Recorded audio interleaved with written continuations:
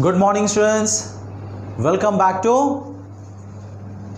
first year economics. Today we are starting unit 7th. We completed the unit 6 theories of distribution yesterday. Today we are continuing with national income analysis. We are purely entered into the macroeconomics. Till now we were discussing about of microeconomics. If you remember till 5th chapter it's all about individual prices, individual demand, individual everything individual. Industry or a firm or a person, market demand and individual demand. We have seen that. Supply of commodities, everything we have seen individually. But from last sixth chapter onwards, we were discussing everything in big, large quantities. If you remember theories of distribution, what we have seen personal and functional. What is fun- functional distribution? It is about everything, a lot of things. Personal distribution about one particular person's income. That is why the income inequalities happens. So here you can see when it comes to personal distribution, it is micro, but when we are talking about functional distribution, it is macro. But the national income is totally macro. It discusses about everything in total, big, large quantities. So here we are entering into a new chapter to learn new things which are going to be very interesting. Every country calculates its national income for the purpose of what we are lagging or where we are improving, how the national income is improving or decreasing. In general, national income increases, but sometimes the ratio of increasing national income is not so perfect. And we also have to calculate this in per capita income also. You did come across in the 10th class itself total national income divided by the total population of the country that is per capita income. So, to know the per capita income, you should know the national income. So, national income is a, a measuring rod whether the country is improving its economic condition or else. It is decreasing. So, every country need to understand if national income is not improving then it should understand where what policies how we can change this national income to improve now let us see. First what is the definition of national income? Yeah there are four definitions by alfred marshall kuznets etc etc but i will come to that point later. In simple language i like to explain you. What is the national income? Total market value. Here listen. Market value of all goods and services produced in a country in a stipulated period of time is called as national income. Let me repeat again. All the market value of goods and services which are produced in a country at a particular period of time or stipulated period of time is called national income. Now let us see. So we are calculating market value. Point 1 point 2 goods and services. Point 3 at a particular period of time that period of time is generally one year. Within a year all goods and services supposed to be multiplied by their market value that is market prices whatever the in toto that is going to be called as national income. For this it's a, it's a long process a very large calculation all the goods and services have to be calculated. All the goods with different different quantities and qualities have to be achieved. And then they have to be multiplied with market prices. Take one product like uh, paddy or rice. We have plenty types of uh, varieties of rice. Each variety has to be multiplied by its price.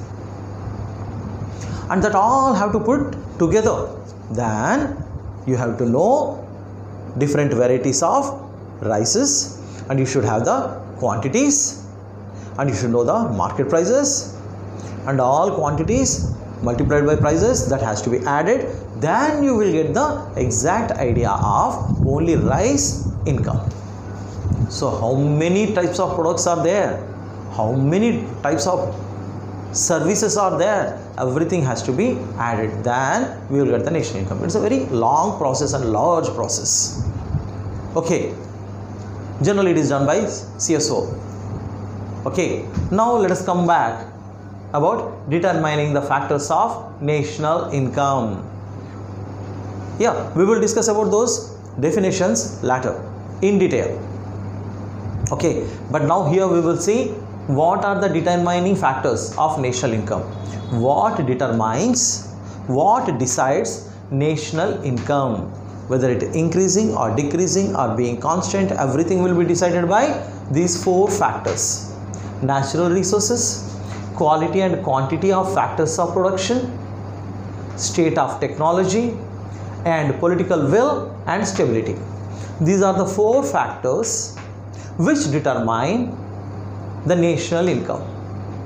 So, let us study about these factors which determine the national income. First one is natural resource. Natural resources plays a vital role. If you don't have the natural resources, all other things remaining the same, success is going to take more time if all other things remaining same if natural resources are there success is very easy or improving of national income is very easy now here i want to give you some examples of natural resources. This we have to see at three levels. We should have the adequate natural resources. Enough natural resources point one adequate natural resources. And uh, you need to tap them properly. Tap them means utilize them properly. If there are untapped natural resources they are not going to be useful.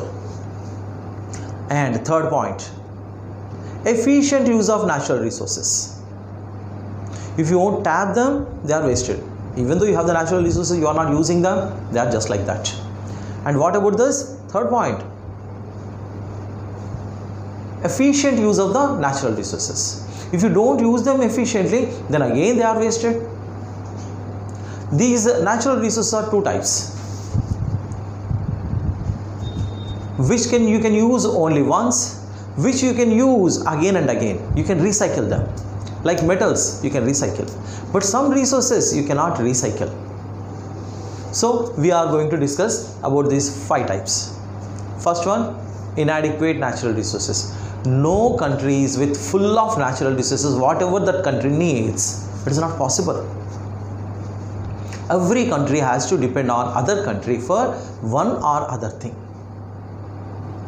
Like in the corona period you have seen even america a successful economically developed country was depending on india for chloroquine tablets hydroxychloroquine tablets. You have seen that. So here no one is individual. No country is individual. Everyone has to depend on another country. Okay? So adequation is not important. If you don't have that resource you have to purchase it from other country.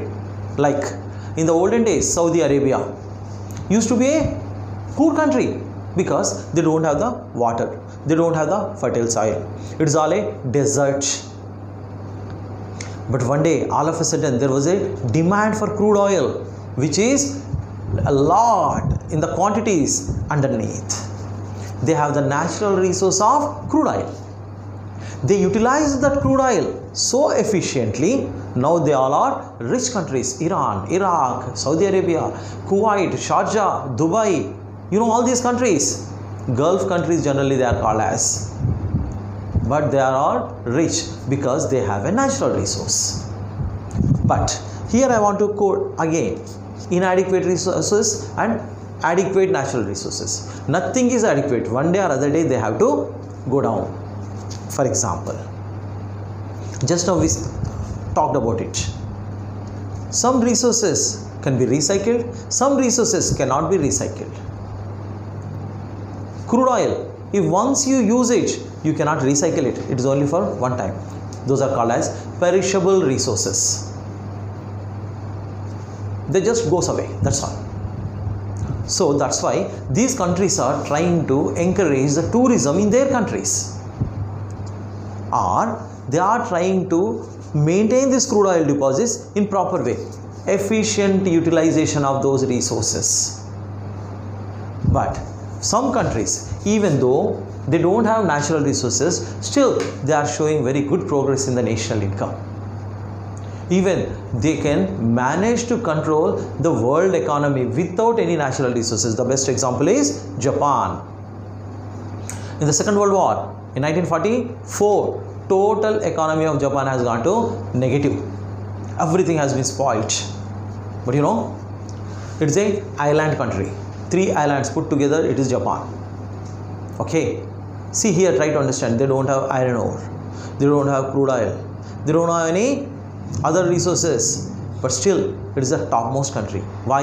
Because they know how to utilize the resources within the limitations. What they did? They started importing the resources from other countries like they import the iron ore the best quality iron ore from india and they recycle it and uh, sorry they will uh, manufacture the iron. With that they will manufacture the commodities and they sell them in other countries and they will get the profit. So not having natural resources is not a reason for economic development. But if you have the natural resources you will develop faster. Like saudi arabia dubai iran iraq muscat etc etc countries. So natural resources plays a vital role. If everything is equal and you have another advantage of having adequate natural resources. Certainly that country is going to be a successful one or economically developed country. Okay? Determining factors of national income. Okay. Now we will see quality and quantity of factors of production. Here it comes to japanese they have quality as well as quantity of factors of production. Here quantity. Now let us see when we say factors of production it is not only natural resources. It is included with human resources too. Now let us see quality. Yeah if you have the best quality iron ore then you will get best iron. You can manufacture best steel. See here quality matters. What type of natural resource you got that also matters. And quantity. We are talking about of only minerals. Let us say land fertile land. You know japanese doesn't have that fertile soils. Like they doesn't have any plains. It's only a mountainous and earthquake affected region. So, so that they do different type of agriculture. They use the sideboards in those sideboards they put the plants and their cultivation is without any soil they do the cultivation without the help of soil. Whatever the minerals needs for those plants they will mix it in a tub and they put those slides in that one for half an hour to one hour and they put those slides to a side. And automatically the plants are going to have enough all minerals what they need and they will grow. See how you utilize these natural resources is very important. For that you need qualitative human resources. And they also depends on quantity. Here comes Lionel Robbins definition. All the economic problems are due to what he says? Scarcity. But here having too much of population is also a problem economic problem that India and China is facing now. Sometimes quantity becomes an advantage. Sometimes quantity becomes a disadvantage. We said land land quality as well as land quantity. You take uh, north america north american continent. In that continent particularly usa united states of america they have a lot of land quantity and quality also. They have all ores. They have all facilities crude oil etc etc so with this we can say america is with quality as well as quantity. Whereas japan, does not have quality or quantity of land but still they are successful. Okay let us go to the second part. Labor. Us got quantity of land but they have a problem with population they want best human resource. That's why every year they give visas to all other countries minimum 1 lakh so that they can come into the country and they contribute their services towards the production. It is their necessity to give the visas to other countries like Chinese, Bangladeshis, Pakistanis, Indians, so and so many, Korea, Vietnam, from every country, at least 1 lakh of people every year goes to US because they are not having enough quantity of human resource. They can utilize their quality of human resource properly and they can develop their country or develop their economy or national income. So Americans know that due to the foreigners only their national income is increasing every year. If all the foreigners, if they push them out, then their national income certainly falls and economic development will stagnate. And let us see the third one, capital. India was suffering with capital deficiency when in 1990s. So what happened? PV Narasimha Rao under the administration of Financial Minister Manmohan Singh, he opened the doors for the capital, for the foreigners to come and invest in the country. That is FDI, Foreign Direct Investments. See, we are we have the scarcity of capital, but we have lot of abundance of human resources. So we invited the foreigners to come and invest in the country, and they also seen the advantage because we have best qualitative human resource. They started utilizing this human resource and they started the production.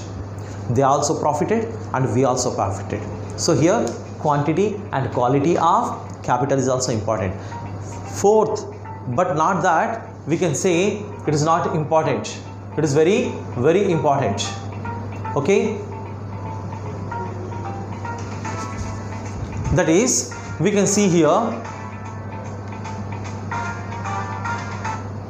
we can see that fifth one organization this is lifeblood for any development organization with only education you cannot become an organizer. You should have a inventive mind and you should have a vision. You should see the things what is happening around you and you should be in a position to take advantage of it and you should be in a position to coordinate all three first factors of production and increase the output. Then only it is possible to get the success and improve the national income so these four factors of production its quality as well as quantity makes all the differences you know nowadays indians are ruling everywhere as ceos chief executive officers you know microsoft you know plenty of the companies which have been laid by our Indians, Indian CEOs. What it shows? Our quality and quantity of human resources is good. But they are not properly used or utilized in India. That's why they are going outside and there they are using their quality. So if everything happens within the India, if that quality is used for India, if the brain drain is stopped, brain drain means the best brain going to US that is getting drained. If we stop that, automatically national income of our country will increase. Now we will see the state of technology. This is a very important one, state of technology. What type of technology you are utilizing? If you are using obsolete technology, old one, output will be the same. You will use more of inputs and get less of output then it is going to cause decreasing of national income. That is what I told you in the natural resources that efficient use of the resources, efficient use.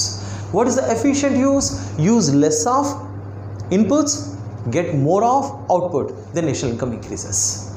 If you use more of inputs and less of output, then national income won't increase. Instead, we are wasting our own natural resources. So here comes organizer's specialty. Organizer should have an idea how to utilize different resources in different combinations and get more output and export them to the other countries or use them in the country. Somehow you can increase the national income. Because i already told you market value of commodities is added to the national income market value. So you need to increase the output. When the increased output automatically going to support or determine the national income. In the state of technology our indians are not lagging too back. But we have to depend on other countries like maruti suzuki. Suzuki is a japanese company. Kawasaki bajaj. Bajaj is indian. Kawasaki is again from outside. Samsung from south korea. You can see sony japanese. So plenty of companies. Volkswagen germany so most of the companies which are selling us technology is taking royalty. So what type of technology you are using? This makes a lot of difference. If you use the best technology output will be best.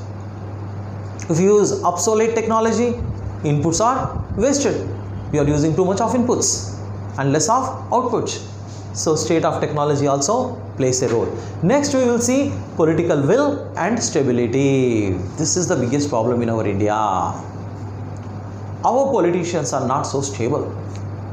Every after 5 years we change the governments. In the opposition party they won't cooperate the ruling party in taking best decisions. Always these politicians are only interested in their own personal profits. If our politicians changes or if our politicians were good this would not have taken 70 years to develop our own country. In last some years we are changing our political scenario. So this political will is also plays a vital role.